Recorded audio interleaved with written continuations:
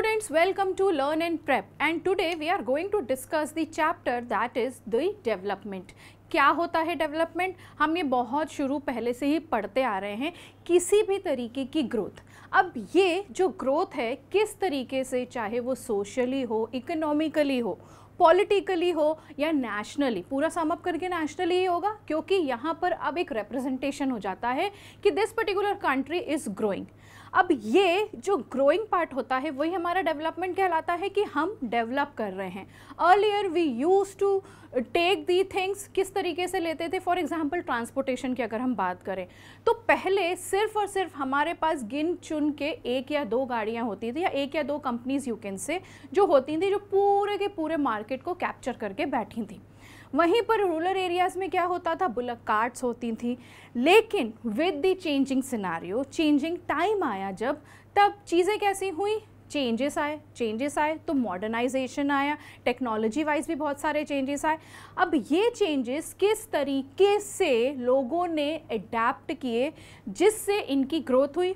और ये पूरा का पूरा सिनेरियो क्या कहलाया? हमारा डेवलपमेंट। अब ये डेवलपमेंट पहले कैसे देखते थे कि अगर कार्स की बात कर रहे हैं, ट्रांसपोर्टेशन की बात कर रहे हैं तो उस समय पे only one or two vehicles use to be there but changing time में आज there are an number of vehicles running on the road and you don't know the names also of that vehicle जो आज यहाँ पर run भी कर रही हैं। तो ये किसका क्राइटेरिया है? डेवलपमेंट का ही क्राइटेरिया है। तो बेसिकली हम इस चैप्टर में यही देखेंगे कि किस तरीके से इंडिया ने ग्रोथ करी है डेवलप हुआ है हुआ है कि नहीं हुआ है, ये सारी चीज़ें हम इस चैप्टर में देखेंगे। तो let just start first thing what do you mean by development here अब क्या चीज़ें हो जाती हैं? There are different people in and around the world ठीक है? मैं हूँ, मेरे जैसे बहुत सारे होंगे, या मेरे जैसे बिल्कुल भी नहीं होंगे, दोनों चीज़ें हैं। अपने ही घर का एक एग्ज़ाम्पल ले लो। In your family there are the members of five पाँच मेंबर्स हैं। अब वो पाँच मेंबर्स हो सकता है, या तो एक जैसे हों सिमिलर हों। बहुत कम चांसेस होते हैं कि सिमिलैरिटी हो। हर कोई आर दी डिफरेंट पर्सन ठीक है? तो डिफरेंट पीपल हैं in the house only locality surroundings environment सब जगह पर डिफरेंट डिफरेंट पीपल हैं now these different people might be having the different thinkings also ऐसा नहीं है कि एक ही तरीके के दिखने वाले लोग हो सकता है, उनकी थिंकिंग भी एक जैसी हो। बिल्कुल भी नहीं है ऐसा। जितने भी लोग होते हैं in and around the world are having the different perspective और इस पर्सपेक्टिव से ही वो क्या करते हैं? अपने अपने काम करते हैं। तो if we see here different people have different goals ठीक है?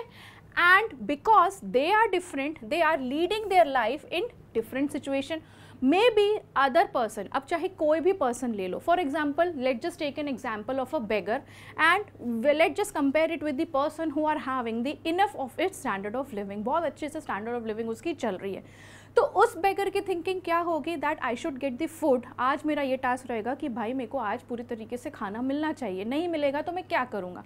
On the other hand if that person is there जो ऑलरेडी उसकी जो लिविंग है, वो अच्छी तरीके से स्टैंडर्ड ऑफ़ लिविंग बहुत बढ़िया चल रही है तो वो ये सोचेगा कि आज मैं खाने में क्या खाऊँ?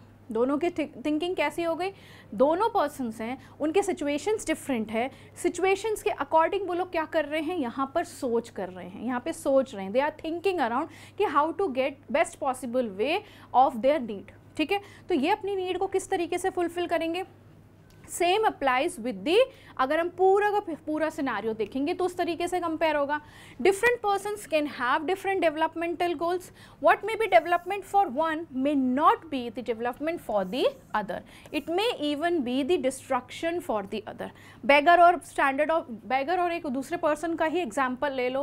हो सकता है जिसका स्टैंडर्ड ऑफ़ लिविंग बहुत बढ़िया चल रहा है, उसके लिए वो बैगर की सिचुएशन एक बहुत ही वर्सन सिचुएशन होगी। Obviously because he is getting all the things whatever he wants and he is getting that but on the other hand if we have compared this with the beggar तो यहाँ पर beggar was not getting any single thing he was hardly having the thing कि उसको यहाँ पर खाना मिल जाए ये चीज़ें हो गई तो दोनों की सिचुएशन अलग अलग है तो दोनों की सिचुएशन एक दूसरे के लिए सही हो सकती है क्या बिल्कुल भी नहीं हो सकती because people are different their thinking are different so their goals might be different obviously अब इसी से डेवलपमेंट उनका पर्टिकुलर पर्सन का डिफाइन होता है यहाँ पर। नेक्स्ट आते हैं if we talk about the year 1960 तक की अगर हम बात करें तो जो इकोनॉमिक डेवलपमेंट रहा है, वो generally used as a synonym for the economic growth तो हमेशा से इकोनॉमिक ग्रोथ 1960s तक की अगर हम बात कर रहे हैं तो इकोनॉमिक ग्रोथ को इकोनॉमिक डेवलपमेंट को साइमल्टेनियसली लेके चलें, क्योंकि वो एक दूसरे के सिनेम्स कहलाते थे। But now it is no longer considered identified identical with the economic growth economic development ज़रूरी नहीं है कि इकोनॉमिक ग्रोथ ही कहलाए किसी भी पर्टिकुलर पर्सन की, ठीक है? Economic development is more than the economic growth जितना ज़्यादा डेवलपमेंट है, ज़रूरी नहीं है कि वो डेवलपमेंट ऐसा है कि उसको हम उसी की ग्रोथ के साथ कंपेयर करें, ठीक है? Economically income can be a major base income जो है can be a major base for economic growth of a nation but experiences had shown that economic growth could not automatically translated into the improvement of levels of the living of the poor masses. The example I have given you of the beggar comparatively with the person who is having the enough standard of living बहुत अच्छा standard of living है दोनों के लिए चीज़ें different थी थी कि नहीं तो जब यहाँ पर दोनों के लिए चीज़ें डिफरेंट थी तो इकोनॉमिक ग्रोथ को हम इकोनॉमिक डेवलपमेंट के साथ कैसे मर्जअप करेंगे? बिल्कुल भी नहीं कर सकते यहाँ पर। Economist redefined the concept of economic development in terms of the reduction of poverty कोई भी कंट्री का डेवलपमेंट तब ही कहलाया जाएगा जब उसकी उस कंट्री में पावर्टी नहीं होगी। अनएम्प्लॉयमेंट नहीं होगा।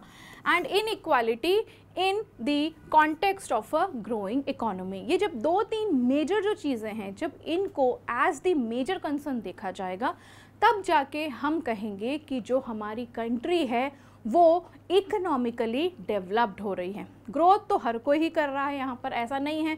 The person who is getting enough money for himself is having the good standard of living ठीक है?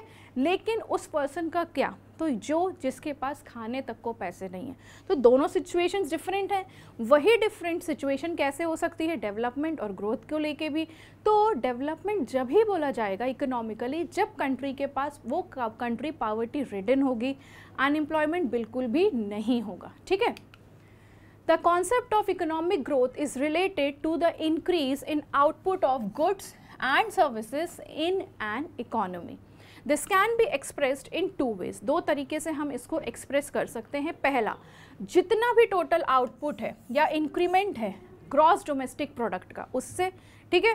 Or rise in per capita income or rise in the per capita GDP अब बोलोगे ma'am per capita income GDP ये सब क्या है? तो ये सब बोलने की ज़रूरत है ही नहीं हमें। क्यों? क्योंकि ये हम पढ़ते आ रहे हैं। GDP is what your gross domestic product per capita income is what a your average income अब ये तुम्हारी एवरेज इनकम नहीं है, ये पूरी की पूरी कंट्री का एक टोटल वैल्यू निकली है। ठीक है? चलो आगे इसको और अच्छे से समझते हैं। सबसे पहली चीज़ development concerns not only man's material needs but also the improvement of social conditions of life अब सोशल कंडीशन किस तरीके से आप डिफाइन करोगे? इक्वालिटी से ही? सोशली अगर हम बात कर रहे हैं, पर्सन की डिग्निटी, ये सारी चीज़ें मैटर करती है। तो सोशल इक्वालिटी का मतलब कोई भी कंट्री हो इरेस्पेक्टिव वो डेवलप्ड है अंडर डेवलप्ड है या डेवलपिंग है, ठीक है? यहाँ पर कोई भी कंट्री के पीपल को अगर फुल तरीके से डिग्निटी मेंटेन करके सारी चीज़ें मिल रही हैं तो he will be very happy. But on the other hand if he is into that organization जहाँ पर उसको पेमेंट तो मिल रही है लेकिन डिग्निटी पॉइंट ऑफ़ व्यू से he is not getting anything तो obviously it is a matter of concern ठीक है? It is there for not only economic growth but growth plus change in social, cultural and institutional pattern. Which includes both growth aspects and distribution aspects. Development must therefore be conceived of as a multidimensional concept इसको multidimensional concept क्यों बोलेंगे? क्योंकि जहाँ पर एक तरीके से income को बहुत ज़्यादा इंपॉर्टेंस दी जा रही है, क्योंकि उसी से हमारी पर कैपिटा इनकम निकलेगी, हमारी जीडीपी तो उसी से निकल रही है। But on the other hand the social concept are also equally important और वो क्या क्या होंगे? वो पर्टिकुलर इंस्टीट्यूशन किस तरीके से ऑर्गेनाइज है? कल्चरल वाइज कैसा है? किस तरीके से वो लोगों के सेंटिमेंट्स को देखता है? ठीक है? ये दोनों चीज़ें जब साइमल्टेनियसली वर्क करेंगी एक साथ तो company will grow automatically the person is growing and पूरा का पूरा सिनारियो किस तरीके से होगा? Yes the country is the growing one ठीक है? Income and other goals. किस तरीके से इनकम के साथ साथ अदर गोल्स देखे जाते हैं? तो सबसे पहली चीज़ क्या है? इनकम क्या होगी? हमारी earning whatever we are earning is our income ये हमारी क्या होती है? सैलरी के बेसिस पे हो जाती है। किसी भी तरीके से बस जो पैसे हमारे पास आ रहे हैं, वो हमारी इनकम हो गई। प्लट अदर गोल्स क्या होंगे? तो यहाँ पर beside seeking more income one way or other peoples also seek things like अब मेन कंसर्न यहाँ पर लोगों का क्या है? इक्वल ट्रीटमेंट इनकम के अलावा जो मेन कंसर्न है लोगों का, वो क्या है? That they should get the equal treatment the freedom the security and respect of others these are the four five clauses which are to be utilise जिसकी वजह से जो भी पर्सन है, किसी भी पर्टिकुलर इंस्टीट्यूशन में ऑर्गेनाइजेशन में whether it is the formal or unformal one लेकिन यहाँ पर these are the things to be fulfilled other until and unless ये फुलफिल नहीं हुई तो लोग यहाँ पर उस चीज़ को एक्सेप्ट ईजिली नहीं करेंगे तो ऑटोमेटिकली यहाँ पे काम में भी मन नहीं लगेगा उनका। वो इधर उधर भागेंगे। क्यों? क्योंकि वहाँ पर जो डिग्निटी मेंटेन्ड है, जो जिस तरीके से रिस्पेक्ट वो चाहते हैं, वो उनको मिल ही नहीं रही है। जब वो रिस्पेक्ट ही उनको नहीं मिल रही है तो how they are going to work over there just by money वो पूरी चीज़ें फुलफिल नहीं होती हैं। ठीक है? money or material things that one can buy with it is one one factor on which our life depends ठीक है but the quality of our life also depends on non material things which are mentioned above और वो क्या क्या चीज़ें हैं हमारी equal treatment freedom security and the respect of others ठीक है there are many things that are not easily measured but they mean a lot to our lives these are often ignored However, it will wrong to conclude that we cannot what cannot be measured is not important. मतलब जो major नहीं हो रहा है ये बोलना बिल्कुल भी गलत होगा कि वो इंपॉर्टेंट है। चलो let just take an example ठीक है? एग्ज़ाम्पल से हम इसको देखते हैं before starting it for example there are two people ठीक है? एक ए है एक बी है ठीक है? A is earning eighty thousand per month B is on the other hand B is earning just only forty thousand ठीक है? यहाँ पर, यहाँ इसके पास जो एटी थाउज़ेंड अर्न कर रहा है, यहाँ पर इसको कोई भी इंसेंटिव्स नहीं है। रेस्पेक्ट नहीं है। ऑन दी अदर हैंड जो भी चीज़ें एक अप्रिसिएशन होना चाहिए, हर वो चीज़ें जो एक कंपनी में होनी चाहिए, वो इसके पास बिल्कुल भी नहीं है। ठीक है? But on the income part he is earning eighty thousand per month ठीक है? Now take the example of B B is just earning the half of the amount what the A is earning ठीक है? तो यहाँ पर उसको क्या क्या चीज़ें मिल रही है? इंसेंटिव ही इज़ गेटिंग ठीक है? पर्क्स ही इज़ गेटिंग ठीक है? और क्या क्या चीज़ें चाहिए उसको? हॉलीडेज ही इज़ गेटिंग यहाँ पे उसको कोई हॉलीडे नहीं था। No holiday. And here he is getting what he actually wants irrespective of the money. So so, इन दोनों के केस में बताओ कौन सा सबसे ज़्यादा सही चल रहा है? तो यहाँ पर हम अगर देखें तो B is on a good path why because भले ही उसकी सैलरी कम है लेकिन जो अदर गोल्स हमने डिस्कस किए अभी लाइक दी डिग्निटी मेंटेन्ड है उसकी रेस्पेक्ट है उसकी, उसके कल्चर्स को भी मोटे, इनको इम्पॉर्टेंस मिल रही है, उसको हॉलीडेज़ भी मिल रहे हैं, उसको पर्क्स भी मिल रहे हैं, उसको हर वो चीज़ मिल रही है, जो उस पर्टिकुलर कंपनी से वो वो एक्सपेक्ट करता है एंड कंपनी उसको वो चीज़ें प्रोवाइड भी कर रही है तो यहाँ पर who is the person who is in the good hand B is the person because 80 के भले ही उसके पास हैं ए के पास, लेकिन he is not getting any single thing in return and on the other hand the person who is earning only just forty thousand यहाँ पर उसके पास हर वो एक चीज़ है जो उसको लगता है कि होनी चाहिए। तो इन दोनों केसेस में हम यही बोलेंगे कि B is in the profit motive profit में है बी भले ही उसकी इनकम वाइज वो चीज़ें कम थी। So this is the best example जिससे हम समझ सकते हैं कि इनकम के साथ साथ जो अदर गोल्स होते हैं, वो भी साइमल्टेनियसली बहुत ज़्यादा इंपॉर्टेंट होते हैं because it is for the sake of that particular person if that person is getting the self respect is getting the respect from others the dignity उसकी maintained है हर वो तरीके से काम हो रहा है जो उस particular institutions में वो expect करता था और वो चीज़ें उसे मिल रही हैं तो यहाँ पर salary देखी नहीं जाती है यहाँ पर क्या देखा जा रहा है कि everything he is getting तो ये क्या हो रहा है हमारा other goals हमारे उसके साथ साथ income के साथ साथ maintain हो रहे हैं तो ये तो सारी चीज़ें हमने किसकी देखी हमने इट इज़ रिलेटेड हमने एक पर्सनस के साथ रिलेटेड देखी। अब हम इसको नेशनली कैसे डिफाइन करेंगे? How it will how you are going to define it nationally national development क्या कहलाएगा? ऐसा डेवलपमेंट जो कंट्री कर रही है। नेशनल क्योंकि यहाँ पर कंट्री डिफाइन हो रही है। इरिस्पेक्टिव कोई सी भी कंट्री हो, कुछ मैटर नहीं करता। मेन चीज़ क्या मैटर करती है कि वो पर्टिकुलर नेशन कितना डेवलप हो रहा है या हो रहा, हो, कर रहा है उसको, ठीक है? It is very important to keep in mind that different persons could have different as well as conflicting notion of a country's development. National development refers to the improvement of a country in all areas.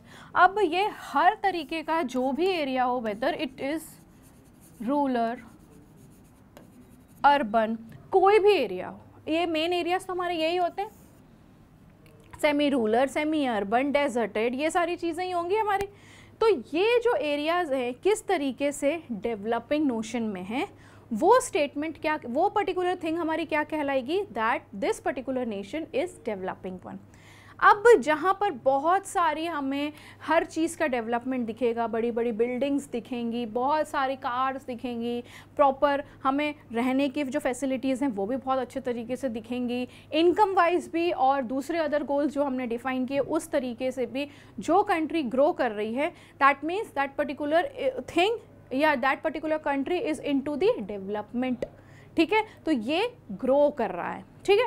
तो including the political economic social cultural and scientific spheres यहाँ पे कोई भी पर्टिकुलर country जो है, वो जब एक साथ मिल के सही तरीके से काम कर रही है that means that particular thing और कंट्री इज़ ग्रोइंग ठीक है? How to compare development in different countries और दी स्टेट्स अगर डिफरेंट डिफरेंट कंट्रीज़ की बात करी जाए तो किस तरीके से जो ये कंट्रीज़ हैं, वो डिफरेंट तरीके से ग्रो करती हैं? For comparing countries, their income is considered to be one of the most important aspect. अब हमने ये तो देख लिया अदर हर ऑर्गेनाइजेशन है उसके अलग अलग तरीके हैं काम करने के लेकिन ये फुल ऑर्गेनाइजेशन जो काम करती है उसका मेन मोटिव क्या है कि किस तरीके से हमारी ऑर्गेनाइजेशन कंट्री को ग्रो करा रही है? तो मेन चीज़ जो यहाँ पर देखी जाएगी वो होगी हमारी इनकम और वो इनकम कौन जनरेट कर रहा है? we the people of that particular country ठीक है Countries with higher income are more developed than others with less income जिसकी जैसी कंट्री रहेगी। फॉर एग्ज़ाम्पल इंडिया जो है, वो ग्रोइंग पोजिशन पे है। But there are many other countries as well जो ऑलरेडी ग्रोथ हो चुकी है उनकी and they are known to be as the developed one ours is still the developing nation other countries ऐसी भी हैं जो हमारी कंट्री से भी बहुत ज़्यादा पीछे हैं and this country are known to be as the underdeveloped one To find the income of a country, we have to find out the national income of that country and its per capita income. दो most important aspect होते हैं क्या होती है वो एक तो होता है हमारा national income and its per capita income. ये दो most important aspect होते हैं हमारी country की income को दिखाने का whether that particular country is the growing one or the under process or already it has been into the position of the growth. National income पहली चीज़ हम देखेंगे नेशनल इनकम अब वो किस तरीके से डिफाइन होती है? Is defined as the total value of all goods and services produced within a country plus income coming from abroad. National income ऐसी इनकम होती है जो पूरी की पूरी हमारी कंट्री में जनरेट हो रही है प्लस और दूसरी इनकम जो हमारी कंट्री में आ रही है in the terms of export तो ये कहलाएगी हमारी नेशनल इनकम नेक्स्ट होती है हमारी पर कैपिटा इनकम क्या होता है ये? Average income also known as the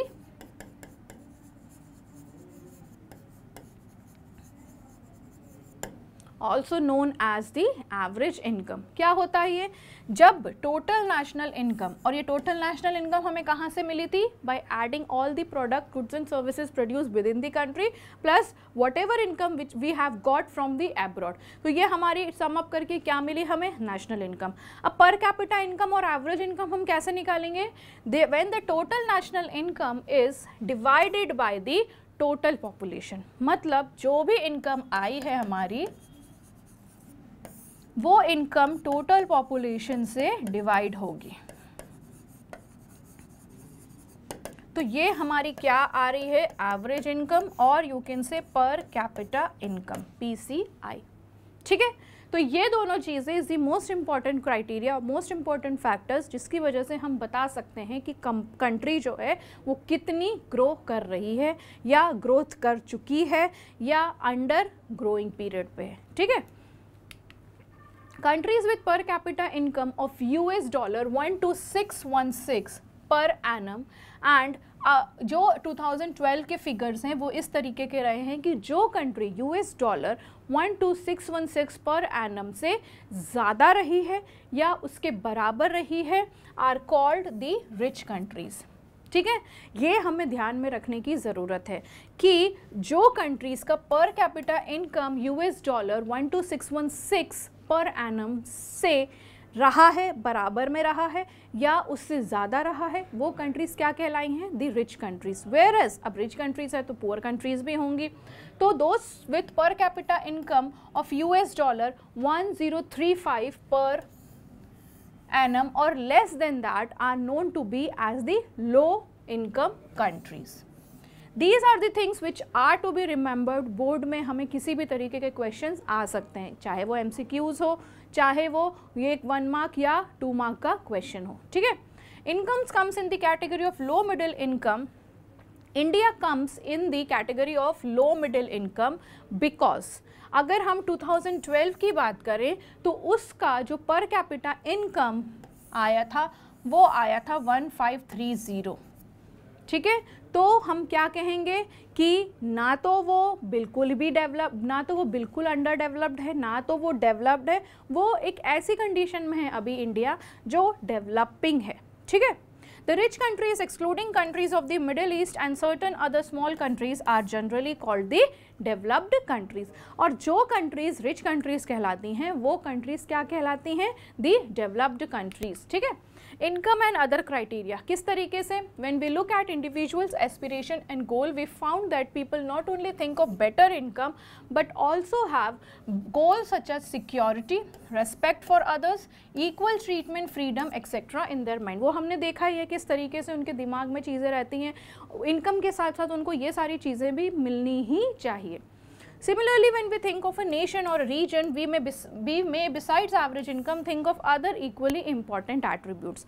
अब यहाँ पे तो हमने किसके पर्सपेक्टिव से बात करी एक पर्सन के पर्सपेक्टिव से ठीक है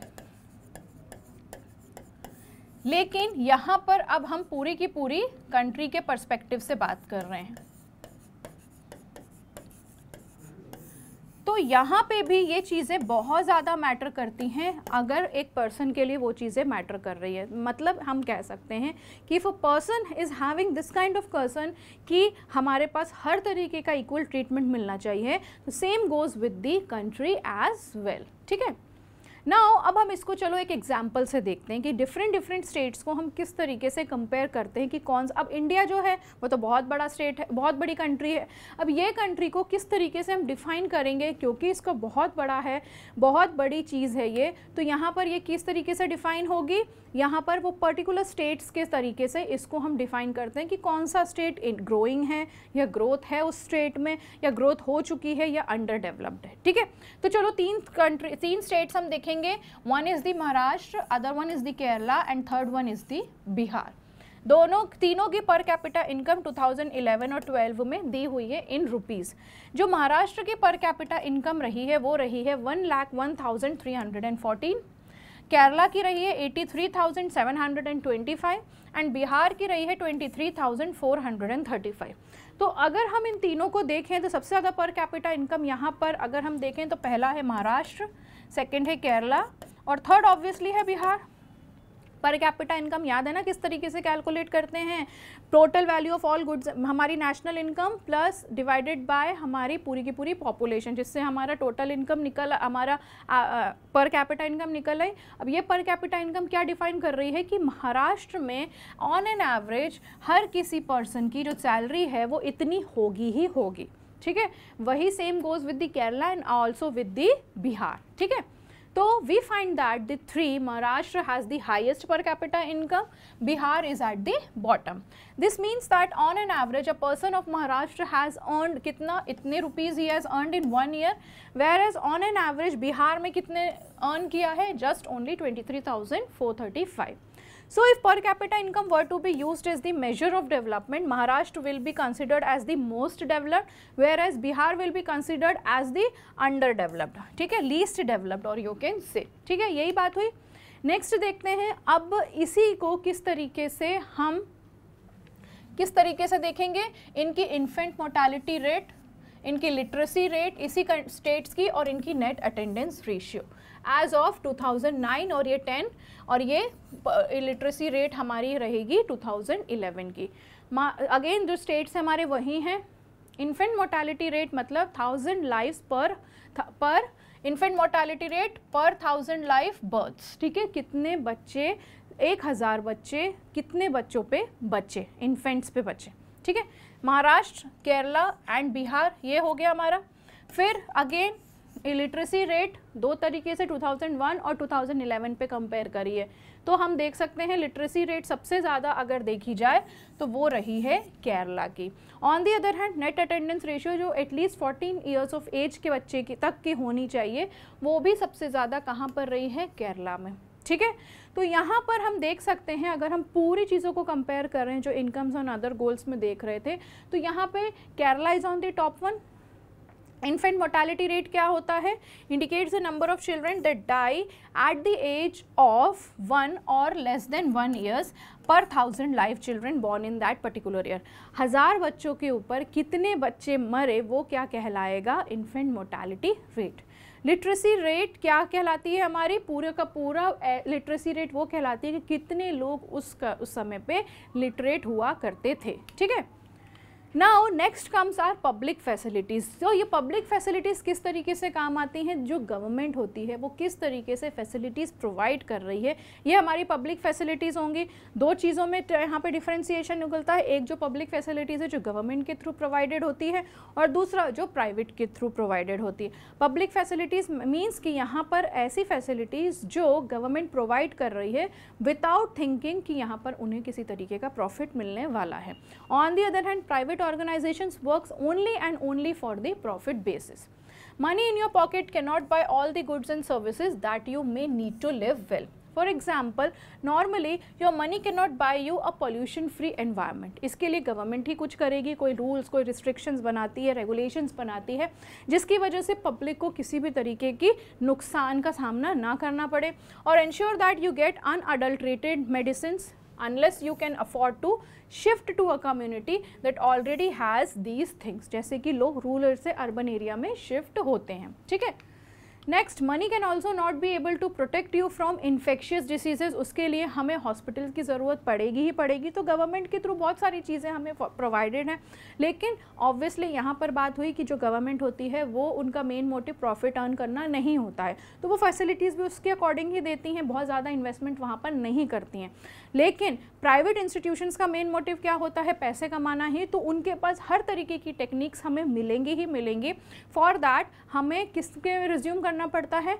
रूरल से अर्बन में आना ही पड़ता है, जिसमें कि हमें बड़ी चीज़ों से बहुत ज़्यादा क्या मिल जाए, अपॉर्चुनिटी हम गेन कर पाएँ। Kerala has a low infant mortality rate because it has adequate provision of basic health and educational facilities similarly in some states the P D S जो पब्लिक डिस्ट्रीब्यूशन सिस्टम है functions well health and nutritional status of people of such state is certainly likely to be better ठीक है? Next आता है human development report क्या होती है ये? मतलब ह्यूमन ने कितना डेवलप किया है? उसी की रिपोर्ट है ये. ऑब्वियसली सिंपल वर्ड्स में अगर हम बोलें तो development done by the human वो सारी चीज़ें हमें क्या प्रेजेंट कर रही है? रिपोर्ट ठीक है? वो हमें एक रिपोर्ट के फॉर्म में मिल रही है और वो कहलाएगी हमारी ह्यूमन डेवलपमेंट रिपोर्ट ठीक है? Today human development is the core of United Nations development programme that is U N D P ठीक है? which presents it into a new perspective of political and economic freedom and depending of democracy at global level which is economically productive and socially and environmentally sound अब जो United Nations development programme है उन्होंने अपना first human development report 1990 में introduce करी थी और उनका कॉन्सेप्ट क्या था कि ह्यूमन डेवलपमेंट इंडेक्स को प्रेजेंट करना। अब इसमें क्या क्या चीज़ें आ जाती हैं? पहली चीज़ तो किसने स्टार्ट करा था? वर्ल्ड बैंक ने, जिसमें उनका पर कैपिटल इनकम ये तो एक अलग ही क्राइटेरिया होगा कि इसमें इनके इनकम जनरेट वाला फंडा दिखाएँगे। कंपेयरिंग दी कंट्रीज़ ठीक है? उसके साथ साथ यहाँ पर इन्होंने एक चीज़ और एड ऑन करी, वो करी थी U N D P that is human development index programme जिसमें ये एक रिपोर्ट प्रेजेंट करेंगे, जिसमें पर कैपिटा इनकम भी डिफाइन होगी। पर्टिकुलर कंट्री में कितने हेल्दी पर्सनस हैं, क्या वो कंट्री एक हेल्दी कंट्री है? कितने एजुकेशन वाइज साउंड हैं? ये सारी चीज़ें इस रिपोर्ट में दिखाई जाएगी, ठीक है? फिर किस तरीके से अब ये रिपोर्ट मेजर करी जाती है, पहली चीज़ तो लॉन्गेटिविटी ठीक है? It is a choice to live a long and healthy life it is measured in terms of life expectancy years कितने कोई भी कंट्री फॉर एग्जांपल इंडिया है। तो इंडिया में जो लोग होते हैं ऑन एन एवरेज उनकी एज आज की डेट में कहाँ तक जाती है? तो it is just only the sixty five years अगर जो इससे ज़्यादा जी लिया मतलब वेरी गुड यहाँ पर बहुत अच्छा उसने अपनी हेल्थ में, हर चीज़ में उसने बहुत ज़्यादा ध्यान दिया। लेकिन ऑन एन एवरेज अगर देखा जाए तो इंडिया जो देखी जाती है उसकी एज वाइज तो यहाँ पर just the sixty five years only knowledge it is a choice to acquire literacy और information measured by the educational attainment percentage which is a combined gross enrolment ratio in primary secondary and tertiary levels किस तरीके से? Knowledge है particular country की in all the levels whether it is primary the secondary और the tertiary one ठीक है? Decent standard of living एक normal standard of living particular person या फैमिली या कंट्री का किस तरीके का है? चॉइस उनकी चॉइस होती है। किस तरीके से वो अपनी जो स्टैंडर्ड ऑफ़ लिविंग है, वो मेंटेन करना चाहते हैं? क्या वो एक क्वालिटी लाइफ जी रहे हैं? जहाँ पे हर चीज़ की फैसिलिटीज़ दे आर हैविंग या वो एक ऐसी लाइफ जी रहे हैं जो नॉर्मल स्टैंडर्ड ऑफ़ लिविंग जिसको कहा जाता है बेसिक एम्यूनिटीज़ के साथ? Equality and standard life measured by national income और इनकम पर कैपिटल ठीक है? On the basis of H D I human development index के according there are one seventy seven countries of the world we have been classified into high medium and low human development categories तो तीन categories में countries को रखा गया है, जिसमें one seventy seven countries अभी तक इन्वॉल्व हो चुकी हैं। जिसमें if we talk about the India तो India is placed into the group of medium human development countries with one thirty six rank out of 177 countries india comes under uh, on the 136th position and it belongs to the category the medium one. ठीक है? Now see this जिसमें हम क्या define कर रहे हैं? हमारा HDI निकला हुआ है जिसमें इंडिया की जो पोजीशन रही है वो 136 नंबर पे रही है। Just imagine Kerala sorry Sri Lanka जो कि एक स्मॉल आइलैंड नेशन है उसकी पर कैपिटा इनकम इंडिया से भी ज़्यादा है, हर चीज़ में। Just compare just see the figures and India comes under the second position अगर हम इन कंट्रीज़ में देख रहे हैं। लेकिन on the other hand out of 177 countries 136th position किसकी है? इंडिया की। और श्रीलंका की है ninety third position ninety third position पे श्रीलंका है। ठीक है? फिर सस्टेनेबिलिटी ऑफ़ डेवलपमेंट किस तरीके से डेवलपमेंट हो? ऑब्वियसली बात है development is very much necessary but कितने कंडीशंस कैसे कंडीशंस होने चाहिए कि जो ये डेवलपमेंट है, वो अपनी सस्टेनेबिलिटी बना के रखे? It is a matter of sharing development opportunity not the poverty and human deprivation ठीक है? If the person is miserable and unacceptable to the majority of the world people it must be changed before it is sustained ठीक है? Sustainable development is the real economic development accompanied by an increase in economic welfare which can be potentially shared by future generation also मतलब ऐसा development जो हो रहा है, बहुत अच्छी बात है, बहुत बढ़िया तरीके से that development is going on and in return we are getting an number of things जो हमने सोची भी नहीं थी but still we are getting तो हमारे आउट ऑफ़ द ब्लूज हो गया ये सारी चीज़ें। अब यही डेवलपमेंट हम किस तरीके से जारी रखें, जिससे कि क्या होगा, जो कंट्री है, वो इक्वली सस्टेन रहेगी। फॉर एग्ज़ाम्पल अगर हम ग्राउंड वाटर की बात करें इन इंडिया की तो डेवलपमेंट हो रहा है, बहुत अच्छी बात है, लेकिन उतने ही लेवल तक होना चाहिए, जहाँ तक लोग सॉइल लैंड ये लोग सरवाइव कर सकें। लैंड इतना ज़्यादा डिग्रेड हो रहा है कि जहाँ पर एक तरफ़ से जो ग्राउंड वाटर हुआ करता था, जो हमें इजीली अवेलेबल हो जाता था, आज सत्रह, बीस, पचास फुट तक चले जाओ, पानी अवेलेबल नहीं होता है। जिसकी वजह से क्या है ये? ह्यूमन ही हैं जो क्या कर रहे हैं? डेवलपमेंट तो कर रहे हैं। लेकिन on the other hand they are destroying the natural resources as well in the name of the development ठीक है? किस तरीके से हमें नीड है सस्टेनेबल डेवलपमेंट की first rapid economic growth and industrialisation have led to the reckless exploitation of natural resources ये तो हमें पता ही है कि इतनी ज़्यादा ग्रोथ हो रही है एक्सप्लाइटेशन हो रहा है पॉपुलेशन ग्रो कर रही है, जिसकी वजह से कंट्री क्या कर रही है नेचुरल रिसोर्सेज को अपने खोते जा रही है just on the name of the development the stock of natural resources like fossil fuels which meet most of the energy life's energy needs of the world are limited, the growth of small country, of all countries in the future is therefore likely to be endangered if the limited resources are completely exhausted. Fossil fuels हो गए, जैसे कि हमारा कोल हो गया petroleum हो गया crude oil हो गया, वो तो एक तरीके से बोलो क्रूड ऑयल तो ख़त्म ही हो गया है। मतलब अब यहाँ पर हमारे पास क्रूड ऑयल है ही नहीं। तो सोचो इतना ज़्यादा डेवलपमेंट का हम क्या करेंगे, जो हम आज ही यूज़ कर लेंगे and it will be not be use by our future generation तो आगे के टाइम में आने में तो हमें पेट्रोलियम भी हमारे पास नहीं मिलने वाला है। तो हम तो यूज़ कर रहे हैं, लेकिन आगे की जनरेशन का क्या? उनको तो पता भी नहीं है कि पेट्रोल उनको तो पता भी नहीं होगा कि जो पेट्रोलियम हुआ, करता था। दिस विल बी गोइंग उनके लिए तो वो पूरा पास्ट टेंस है कि हाँ ऐसी भी कोई चीज़ हुआ करती थी जिससे गाड़ियाँ चलती थी प्लेन्स चलते थे, हर वो चीज़ चलती थी जो पेट्रोलियम यूज़ होता था जिसमें। The global concern today is therefore to adopt a strategy of economic growth that is environment friendly. होना चाहिए, जिसकी वजह से जितनी भी चीज़ें हैं जो already we have exhausted, आज भी हमारे पास अभी टाइम है कि हम उन चीज़ों को क्या करें वाइस यूज़ करें, जिससे कि हम तो यूज़ कर ही रहे हैं that is well and good लेकिन it should be stored for our future generations as well ठीक है?